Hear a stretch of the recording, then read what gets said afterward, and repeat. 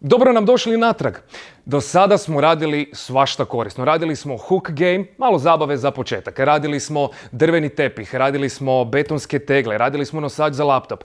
Ovoga puta, da vas ne bi prozvali samo radnikom, bit ćete umjetnici. Danas ćemo raditi jednu predivnu drvenu dekoraciju, ali koja ujedno vam može poslužiti kako bi smanjila jeku.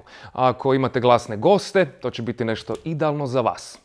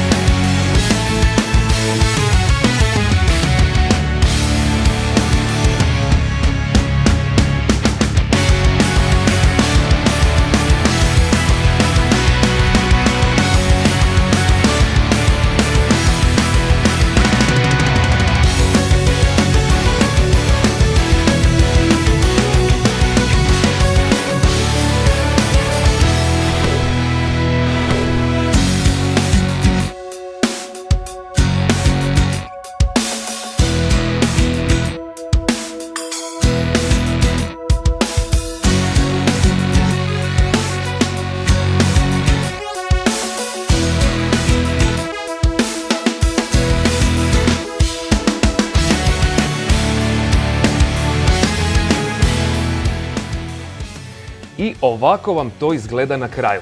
Nema zida na kojem će to loše izgledati. Znate i sami sve, lajkajte, šerajte, pratite Lidlov YouTube kanal i vidimo se u sljedećoj epizodi.